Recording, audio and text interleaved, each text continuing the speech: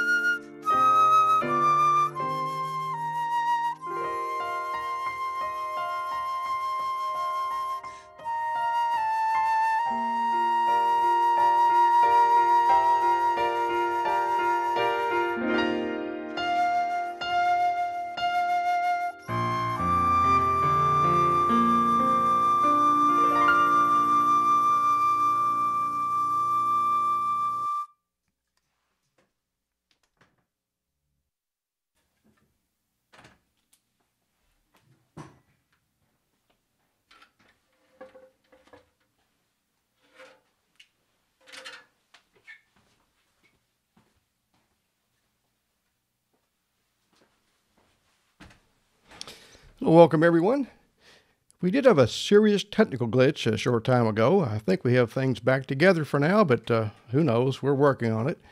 But uh, let's go ahead today and get started with prayer. Let's get right into it. So, Heavenly Father, we do thank you for our many blessings and certainly for your great Son and his great sacrifice for us. Please inspire today's message and help us to have open ears to hear to hear what you'd have for each of us. And please bless the technology we depend on. We ask all, of course, In Jesus' name, amen.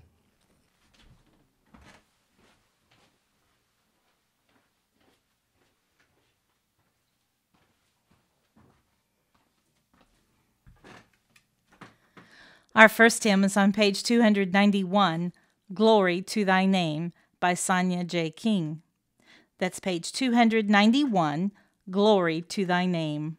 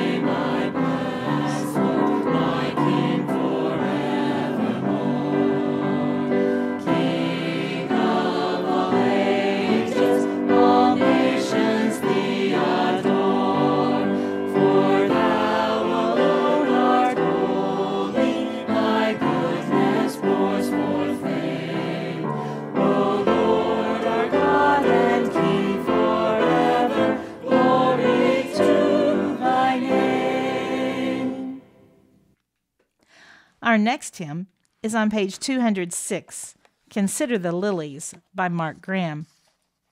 The hymn's text is from Matthew 6, verses 25 through 33.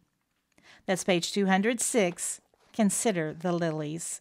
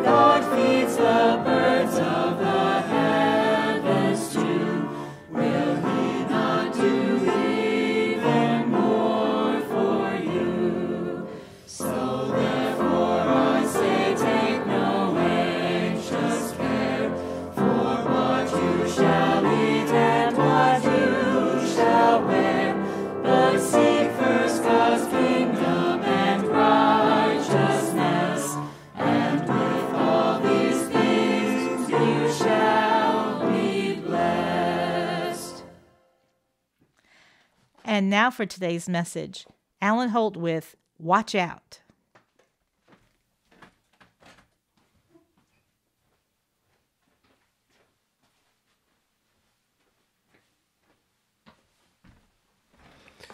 Well, good and welcome, everyone.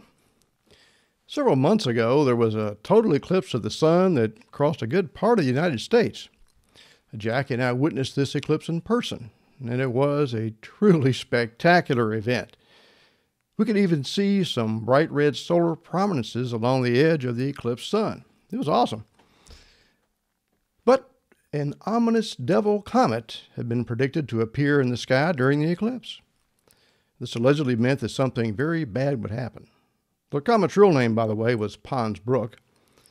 There was also a planetary alignment near that time that was said to likely cause catastrophic damage over all the earth.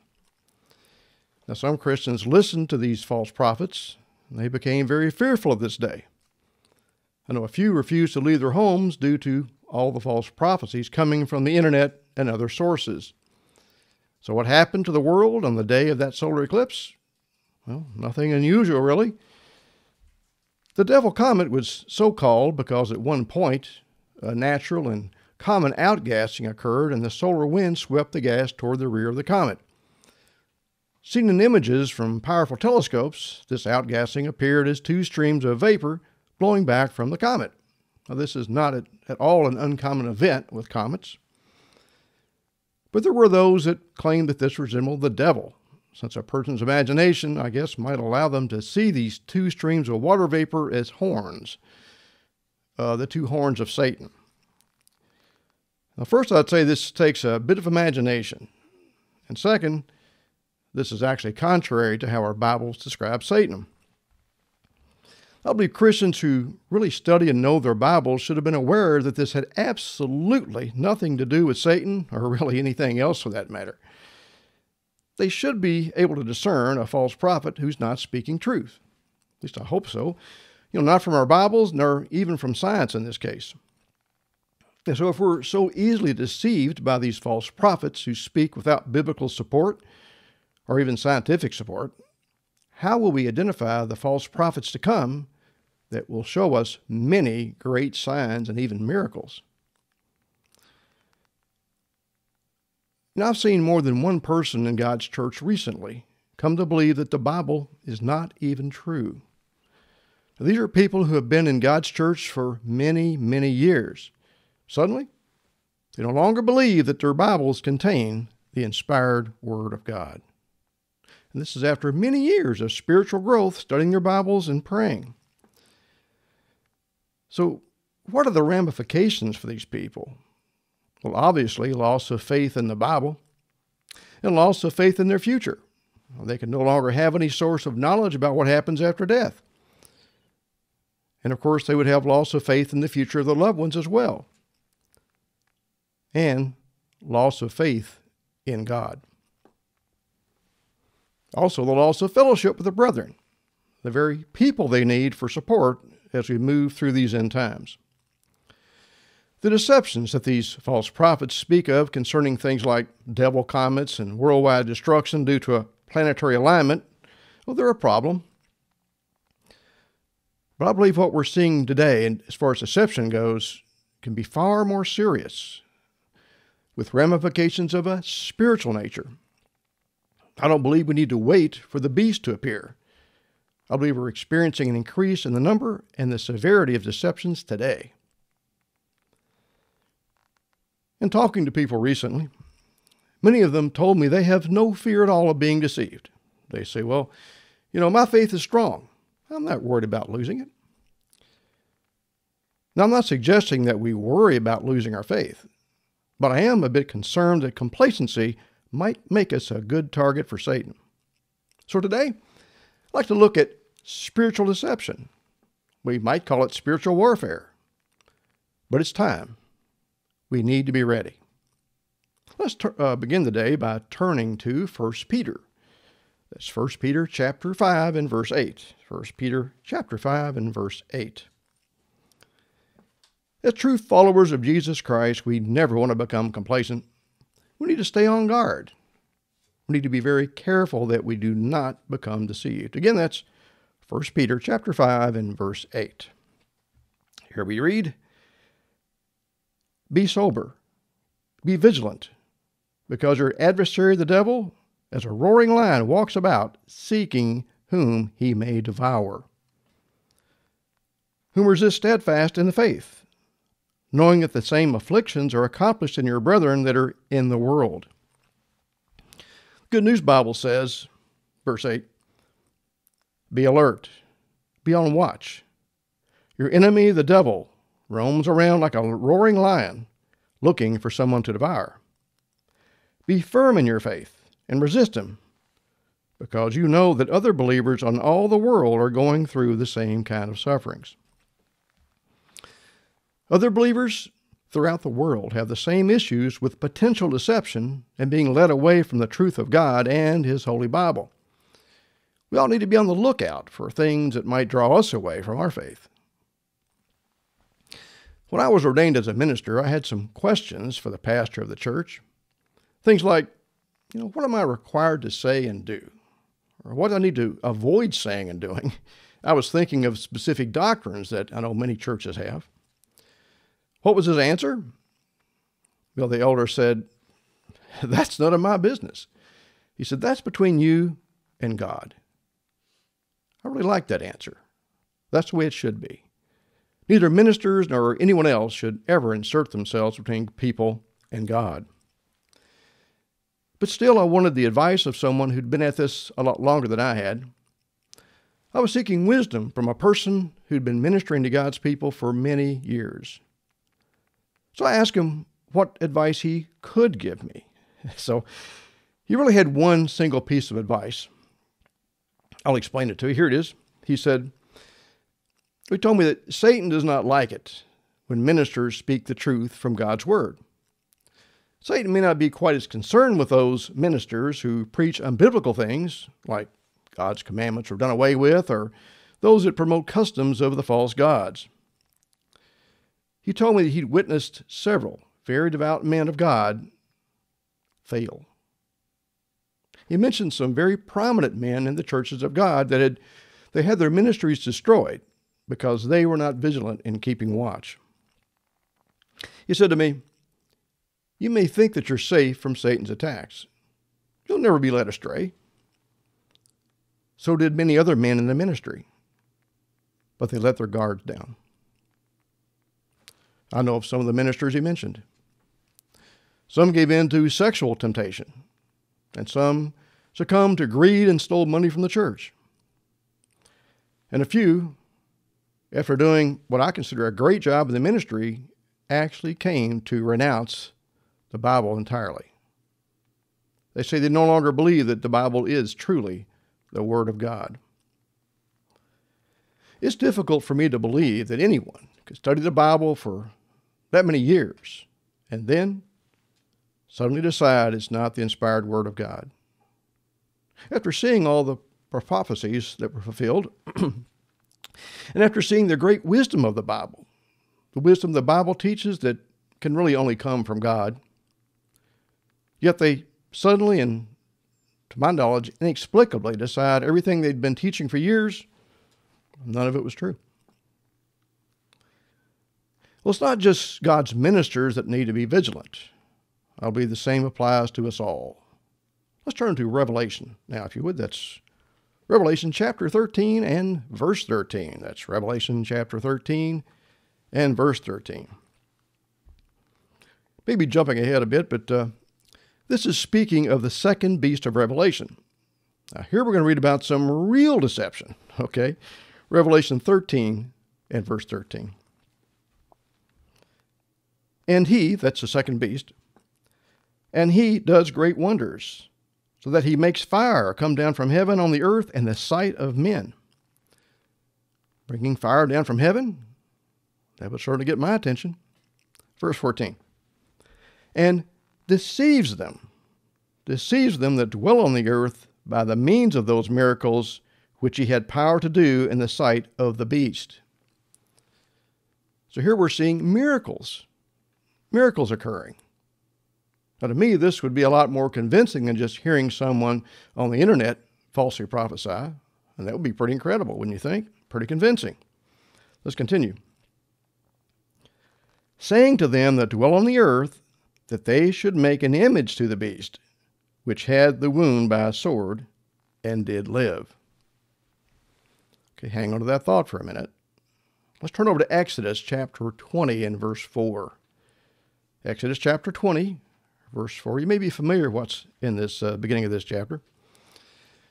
Exodus 20, verse 4. So, if we witness a miracle, how do we know if this is from God or from an ungodly source? Well, in Revelation 13, verse 14, we're told that when we see these miracles, we're to make an image to the beast, right? Well, what does God have to say about making graven images? Well, as one of God's Ten Commandments, Exodus 20, verse 4 tells us, You shall not make unto you any graven image, or any likeness of anything that is in heaven above, or that is in the earth beneath, or that is in the water under the earth. Now, the miracles associated with the command to create an image of the beast are clearly not from the one true God. That's not consistent at all with his own commandments. We'll turn to Second Thessalonians next, if you would. That's Second Thessalonians. We'll go to chapter 2 and verse 9. That's Second Thessalonians chapter 2 and verse 9. As time passes, we will see many things, including many miracles, that will attempt to turn us away from the one true God. The only way to avoid becoming deceived is to study our Bibles and pray. If we get close to and stay close to God, we'll be able to discern these coming deceptions and avoid them. Again, 2 Thessalonians 2, verse 9. Even him whose coming is after the working of Satan with all power and signs and lying wonders. Let me read that again, the first part in the easy to read version. It says, When that man of evil comes, it will be the work of Satan. He will come with great power, and he will do all kinds of false miracles, signs, and wonders. Verse 10 and with all deceivableness of unrighteousness in them that perish, because they received not the love of the truth, that they might be saved. And for this cause, God shall send them a strong delusion, that they should believe a lie, that they all might be damned to believe not the truth, but at pleasure in unrighteousness. I'd like to mention here the word damned does not refer to being sent to hell. Hell, as most believe, of course, does not exist. The word damned in the Greek is the word krino, and it actually means to decide or to judge. So at this point, they'll be judged, not necessarily sent to hell. But, brethren, we have not seen anything yet as far as Satan's deception goes. Excuse me. Let's turn to Matthew 24, verse 3. It's Matthew 24, verse 3. Matthew chapter 24, verse 3. You're probably familiar with this, but here Christ is explaining what things will be like shortly before his return. His disciples had asked what signs we would see as his return grew near. And here's Jesus' answer Matthew 24, verse 3. As he sat upon the Mount of Olives, the disciples came unto him privately, saying, Tell us, when shall these things be? And what shall be the sign of your coming and of the end of the world? Or the end of the age is a better way to put that. Verse 4 And Jesus answered and said unto him, unto them, Take heed that no man deceive you. The very first thing Christ warns us about is to not be deceived. That's how important it is. So we should not take his admonition lightly. Drop down to verse 24. We're going to see more of what we just saw a minute ago, I believe. That's verse 24, Matthew 24, 24. He continues. For there shall arise false Christs and false prophets, and shall show great signs and wonders. So here Christ himself warns us that we will be seeing false prophets that will show us some really great signs and wonders. How great? Let's finish in verse 24 insomuch that, if it were possible, they shall deceive the very elect. we will be seeing some very powerful deception before Christ returns. But remember that many are called, but we know that few are chosen. To be one of God's elect, we simply can't afford to fall for the coming deceptions. Deceptions that would deceive even the very elect, if that was possible. We need to be ready. We need to stay vigilant. We need to continue to study our Bibles and to pray. As I said recently, I've seen some good brethren become deceived and fall away from the faith. We need to be very careful that we don't let this happen to us. I know some might say, well, that'll never happen to me. I suspect that may have been the same attitude that led to some of our dear brethren eventually departing from the faith. Turn to Jeremiah 12 next, if you would. That's Jeremiah chapter 12. We'll go to verse 5. That's Jeremiah chapter 12 and verse 5. So, if we're being deceived by little things like the devil comet today, what will happen when we have real deception in the future, complete with miracles? What happens when we see the real deception? Again, Jeremiah 12, verse 4. I'm sorry, 12, verse 5. I'll be reading from the God's Word version. It says, If you have raced against others on foot, and they have tired you out, how can you compete with horses? If you stumble in open country, how can you live in the jungle along the Jordan River? So, what we're seeing here is that we need to practice being very vigilant today so we won't be deceived when things get really bad. So, if we can't keep up with what's going on today, it's only going to get worse. I'd like to read an article to you from, or part of the article from Bible.org. Um, if you go there, you'll see a thing called Lesson 9 Avoiding Spiritual Deception. Uh, they're quoting from Colossians 2 1 through 5. We'll get to that in a minute. This was actually written uh, or published in January 3rd, 2016. It's a few years old. Let me read this to you anyway. Quote We live in a time of unprecedented widespread deception. The past year saw 750 documented data breaches, stealing the private information of 178 million Americans. When identity thieves get your credit card numbers, they can print up phony cards and take out cash or run up bills in your name. When they steal your social security number, they can file a tax form and steal your tax refund. Telephone scammers prey on everyone, but especially on the elderly. The biggest scam is fraudsters who pose as agents of the IRS, telling people that they will be arrested or their property seized for back taxes if they do not pay up immediately. Another popular scam consists of people posing as employees of tech companies who tell you that your computer has a virus. They need remote control, remote access to your computer and your passwords so that they can fix the problems. And for a fee, they will provide a year's worth of tech support. They really don't, but anyway. These statistics and examples are from an AARP email dated 12 23 15. While these schemes can cost people financially, spiritual deception can result in a person's eternal ruin. Satan has been employing his deceptive lies since the garden. Warning the Corinthians about not receiving a false Jesus or a different gospel, the Apostle Paul wrote in 2 Corinthians 11, verse 3 But I'm afraid that, as the serpent deceived Eve by his craftiness, your minds will be led astray from the simplicity and purity of devotion to Christ. Close quote. Let's take a look at Colossians chapter 2. Let's begin in verse 1. And again, that's Colossians chapter 2, beginning right there in verse 1.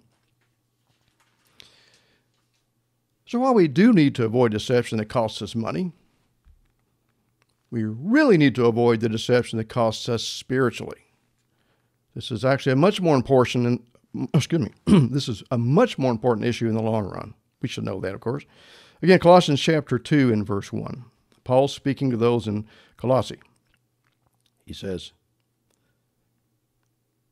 For I would that you knew what great conflict I have for you and for them at Laodicea, and for as many as have not seen my face in the flesh, that their hearts might be comforted, being knit together in love and to all riches of the full assurance of understanding, to the acknowledgement of the mystery of God and of the Father and of Christ, in whom are hid all the treasures of wisdom and knowledge.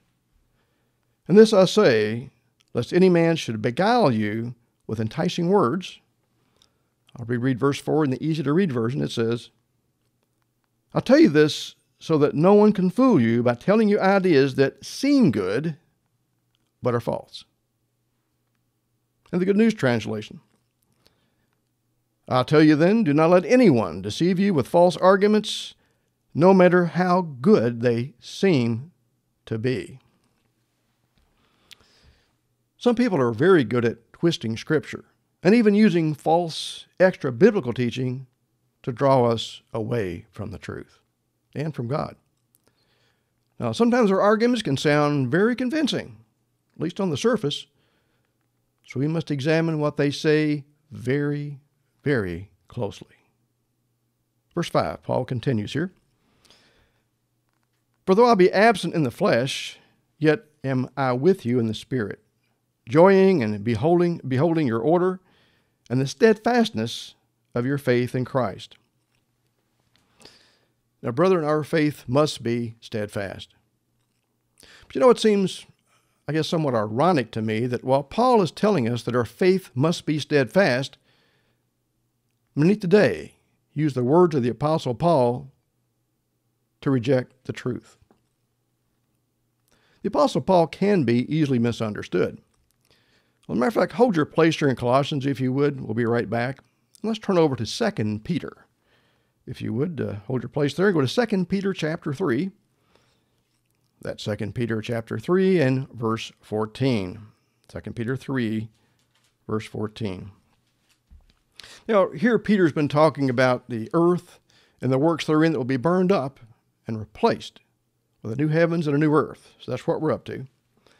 Let's pick up the dialogue in verse 14, where we're told that if we're looking forward to the new heavens and the new earth, in other words, God's kingdom, we need to be ready. We need to be found without spot and blameless. Again, that's 2 Peter chapter 3, verse 14.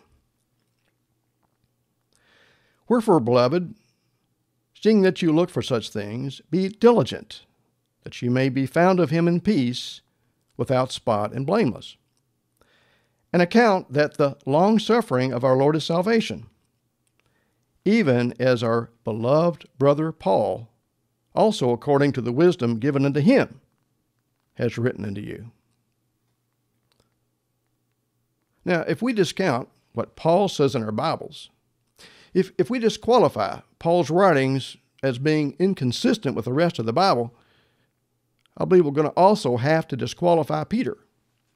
Since Peter says Paul's writings are wisdom.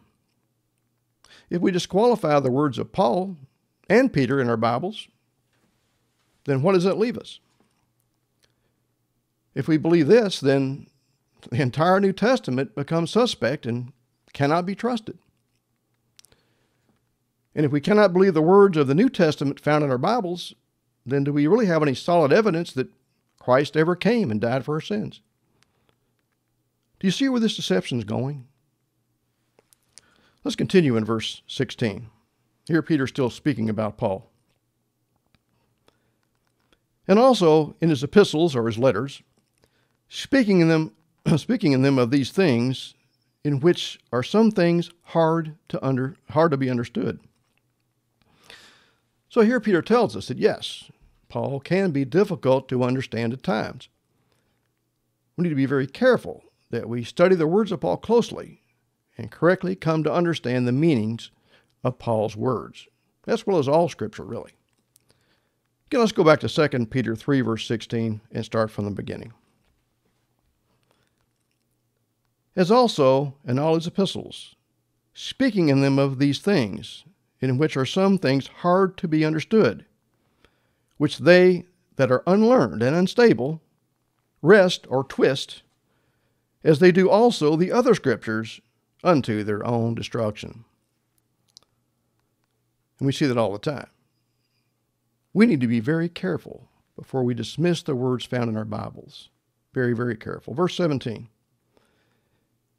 Yet therefore, beloved, seeing you know these things before, beware, lest you also, being led away with the error of the wicked, fall from your own steadfastness. But grow in grace, and in the knowledge of our Lord and Savior Jesus Christ. To him be the glory both now and forever. Amen. We do indeed need to prove all things to ourselves. We need to be very, very careful when we hear things that contradict our Bibles, especially man's tradition and extra biblical sources not written under the inspiration of God. There's much deception today, and it'll only get worse tomorrow. We need to be prepared for that. Well, some form of the word deception is mentioned at least 150 times in the King James Bible. Let me just read a few other examples where deception is mentioned. There are too many to go to today, but by the way, as you know, deception is very much emphasized in the latter days. But let me read you a few.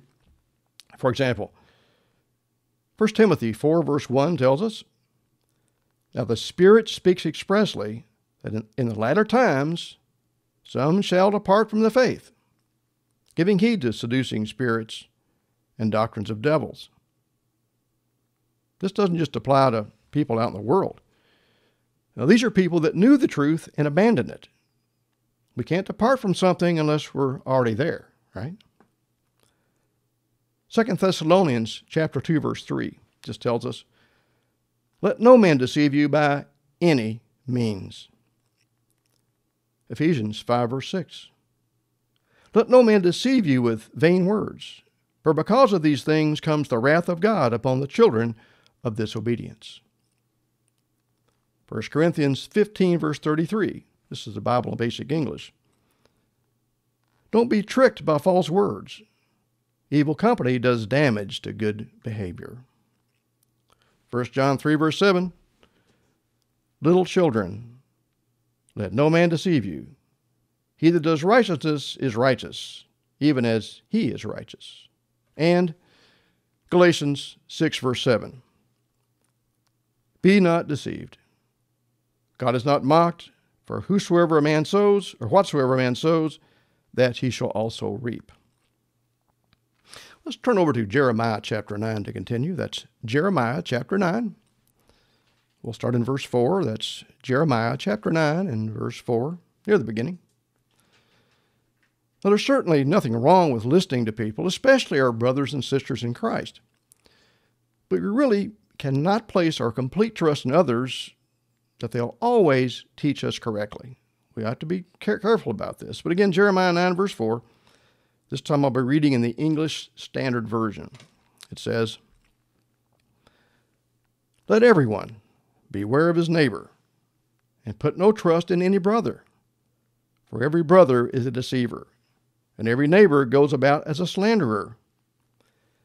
Every one deceives his neighbor, and no one speaks the truth. They have taught their tongue to speak lies. They weary themselves committing iniquity, heaping oppression upon oppression, and deceit upon deceit. They refuse to know me, declares the Lord.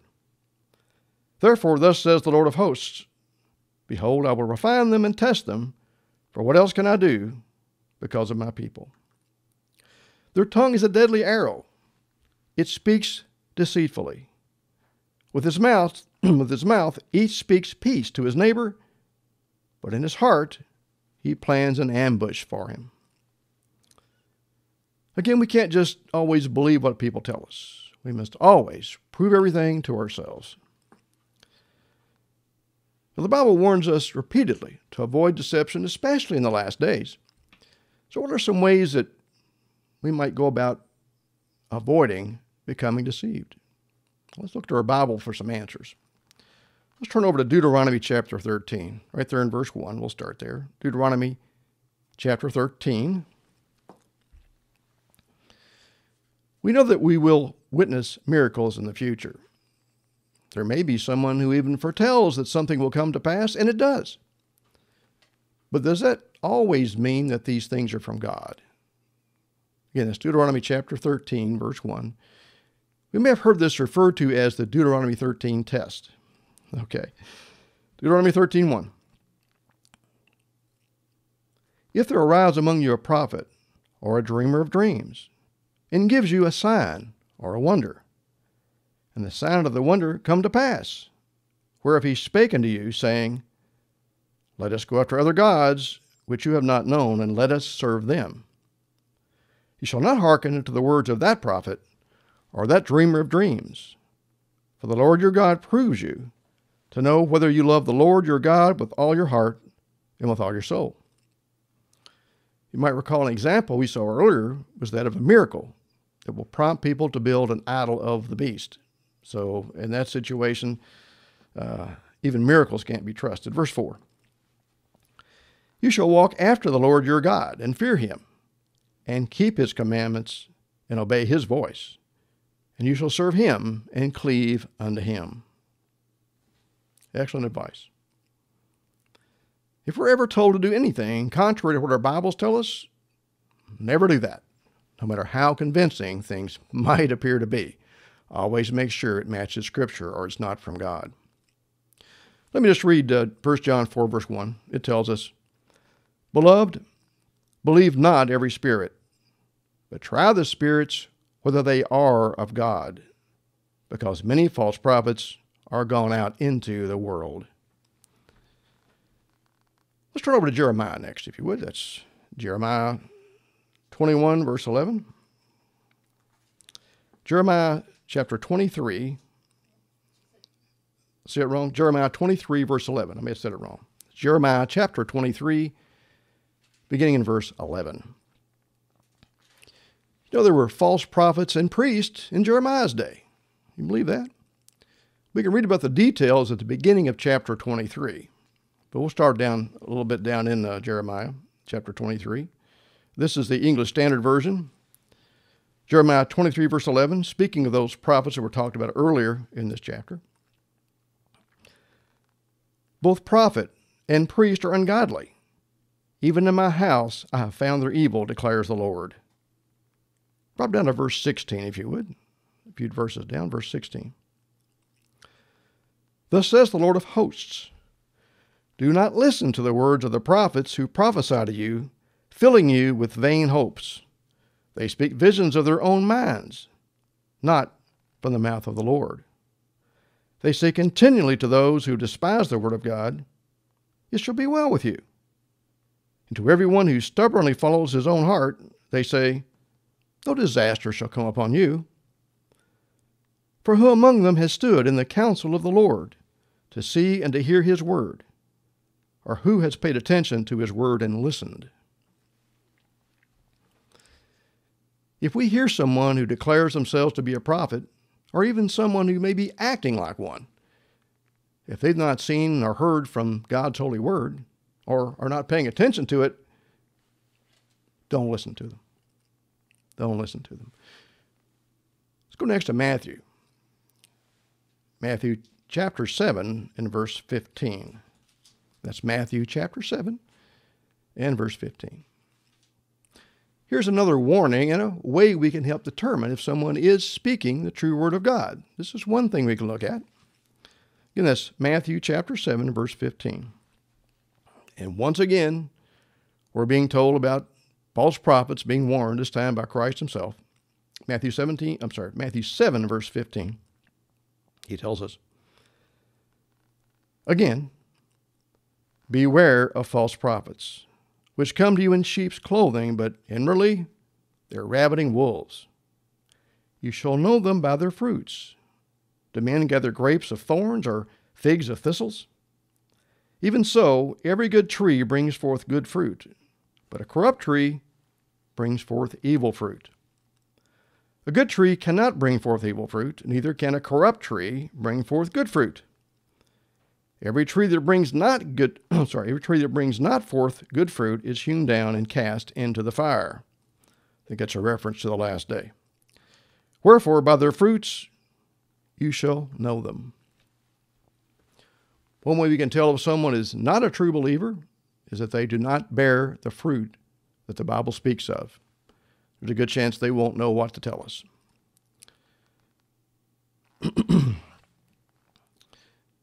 Well, not only can we be deceived by other people and principalities, we can also even deceive ourselves. That's right. We don't watch it, we can deceive ourselves or be pushed to do that, maybe by an outside force. Let me just read a couple of scriptures to you, and we'll go ahead after that. Jeremiah 17, verse 9, English Standard Version tells us, the heart, that's our, what we feel. The heart is deceitful above all things and desperately sick. Who can understand it? Proverbs 14, verse 12 tells us, There is a way which seems right unto a man, but the end thereof are the ways of death. So we can deceive ourselves very easily. Let's turn next to 1 Corinthians chapter 3. That's 1 Corinthians chapter 3, verse 18. And that's again 1 Corinthians 3, verse 18. Now, here, the Apostle Paul warns us not to deceive ourselves. Just like I said, again, that's 1 Corinthians 3, verse 18. We can deceive ourselves. Here's what Paul says Let no man deceive himself. If any man among you seems to be wise in this world, let him become a fool, that he may be wise. For the wisdom of this world is foolishness with God, for it is written, He takes the wise in their own craftiness. And again, the Lord knows the thoughts of the wise, that they are vain. I'd like to add to that that Proverbs 3, verse 5 tells us, Trust in the Lord with all your heart, and lean not unto your own understanding. Lastly, today, what about those who do turn away from the truth, whether they've been deceived by others or even by themselves? What does the Bible have to say about those who were called and given knowledge of the evils of the world? What about those whose eyes were opened, followed Jesus Christ and the words of the Holy Bible, and then rejected them? 2 Peter 2, verse 20. 2 Peter 2, verse 20. 2 Peter chapter 2, verse 20. So it's really one thing to be ignorant of God's truth. And there are many people today who don't know who God is yet. Their eyes have not been opened. Some have yet to gain that understanding. But what about those that have been shown truth? They've been shown God's ways and later come to reject it. What about them? Again, 2 Peter 2, verse 20. For if after they have escaped the pollutions of the world through the knowledge of the Lord and Savior Jesus Christ, they are again entangled therein and overcome, the latter end is worse with them than the beginning. For it had been better for them not to have known the way of righteousness, than after they have known it to turn from the holy commandment delivered unto them. So we're better off to have not been called at all at this time than to be called, see truth, and then reject it. We need to be humble. We need to remember that God knows all things. We need to always look to God and His holy word for truth not always trust others or even ourselves for the truth. Otherwise, we'll end up becoming deceived. And we'll be worse off than we were before we were blessed with the truth in the first place. So, to conclude, there's much deception in the world today, and it's continuing to get worse.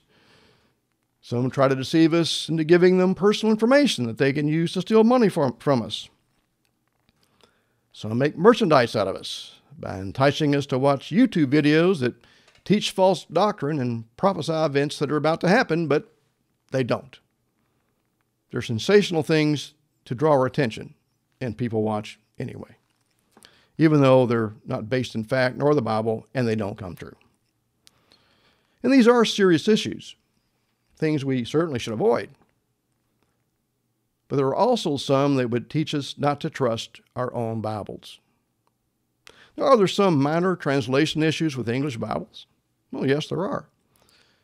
But if we study our Bibles, we'll come to learn that our Bibles actually are very consistent.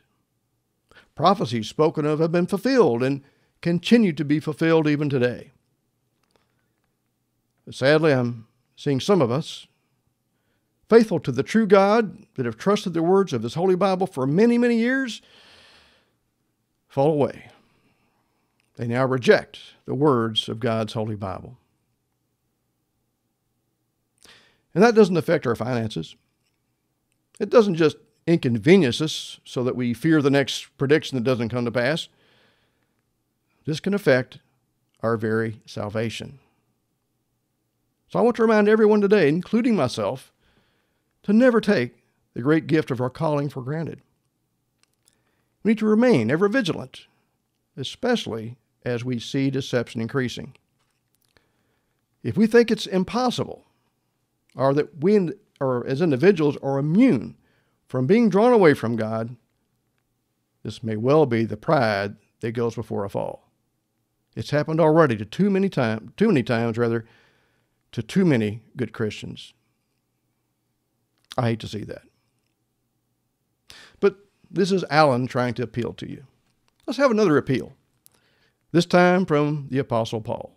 We can find his words in our Holy Bibles. The Bibles, we believe, are inspired by our one true God. The Bibles tell us that, for example, 2 Timothy 3, 6, excuse me, 2 Timothy 3.16, Bibles tell us that all Scripture is given by inspiration of God and is profitable for doctrine, for reproof, for correction, for instruction in righteousness. Again, that's Romans 16, verse 17. Let's go over there. Take a look at that. I'll be reading to you in the English Standard Version. That's Romans chapter 16, verse 17. So uh, it's not just me that's making this appeal today, I don't think. Again, Romans 16, verse 17, Paul speaking. I appeal to you, brothers, to watch out for those who cause divisions and create obstacles contrary to the doctrine that you've been taught. Avoid them. For such persons do not serve our Lord Christ, but their own appetites, and by smooth talk and flattery, they deceive the hearts of the naive. For your obedience is known to all, so that I rejoice over you. But I want you to be wise as to what is good and innocent as to what is evil. The God of peace will soon crush Satan under your feet. The grace of our Lord Jesus Christ be with you. Please have a rest, a good rest of the Sabbath.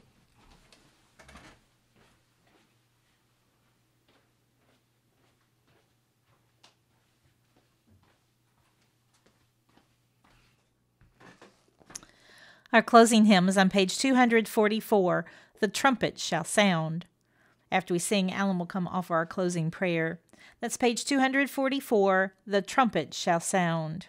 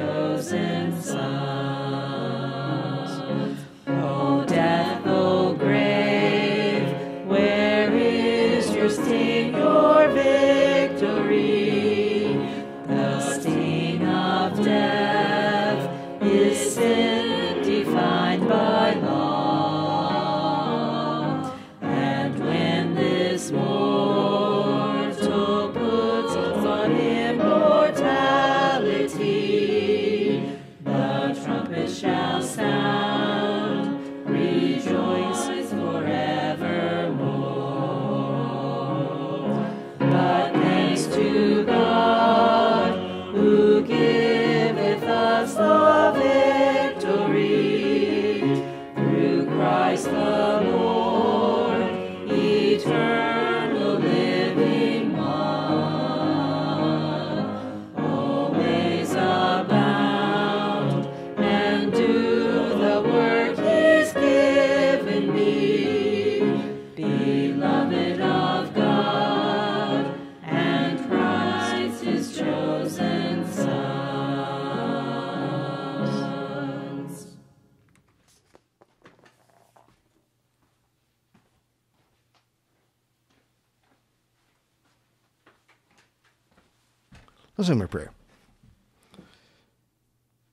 Great Heavenly Father, we thank you so much for our calling. We thank you for the wisdom found in your Holy Bible. Please be with us all and teach us, strengthen us. Help us to understand your holy word and never be led astray by any means. Help us to be there for others who may be misled if we can help them. Prepare us for the time we will live in your great coming kingdom. Of course, we ask all according to your will and in the name of your great Son and our great Savior, Jesus Christ. Amen.